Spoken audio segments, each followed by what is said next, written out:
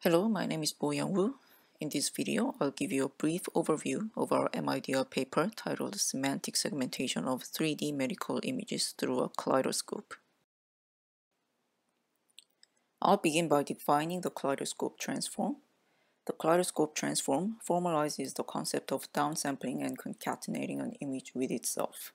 It converts an image or array of any dimension into evenly spaced downsampled images of itself along each axis, each scaled by a given smear factor. Interested readers are encouraged to have a look at this referred paper, which first proposed the kaleidoscope transform. A kaleidoscope transform with a smear factor of 1 and an arbitrary downsampling factor can be efficiently achieved via element reordering. The figures show examples for 2D images to help with understanding. The current work employed this simplified version of kaleidoscope transform modified for use with a 3D image segmentation model. In our 3D segmentation model, the downsampled images would be arranged as a batch instead of concatenating along each axis. For example, the images used in our study have the dimensions of 160 times 384 times 384. So a kaleidoscope transform with a downsampling factor of 4 would rearrange this 3D image into a batch of 64 voxel shifted low resolution copies of the original image with the dimensions of 40 times 96 times 96. Our proposed segmentation model is CAN3D with K. The model was based on the 3D version of context aggregation network which uses dilated convolutions for multi-scale context aggregation. The main modification here was the addition of kaleidoscope transform before the convolution operations and inverse kaleidoscope transform after the convolution operations.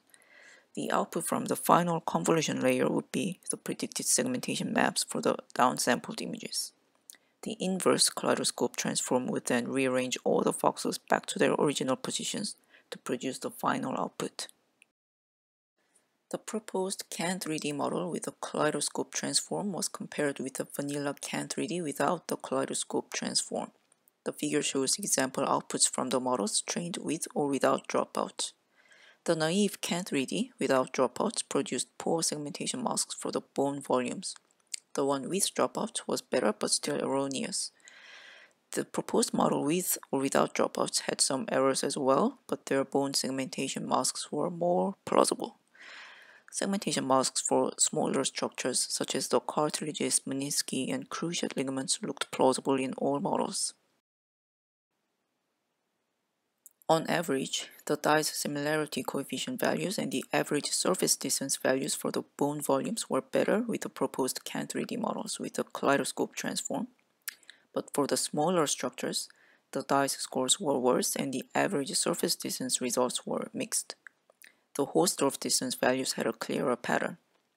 The proposed CAN3D model with dropouts produced significantly lower Hausdorff distances than the other models for all labels.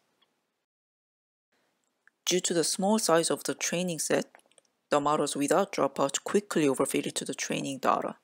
Adding dropouts to the vanilla CAN3D reduced the degree of overfitting, but a greater amount of reduction in overfitting was observed by adding dropouts to the CAN3D with the kaleidoscope transform. Another notable observation was that the test loss converged in a more stable manner. The dropout seemed to have a synergistic effect when used with a kaleidoscope transform in regularizing the model. And despite having additional operations, the proposed model had shorter training and inference time as shown in the table.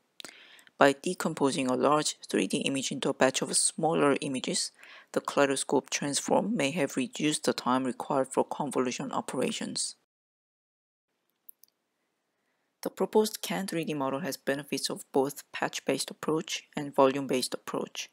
The study showed that the proposed model with dropouts generalizes well without the need for data augmentation when the training set is extremely small.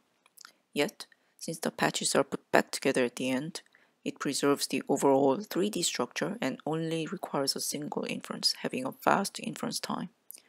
However, the current study also demonstrated that the model still has its limitations, including limited accuracy in the segmentation of small structures.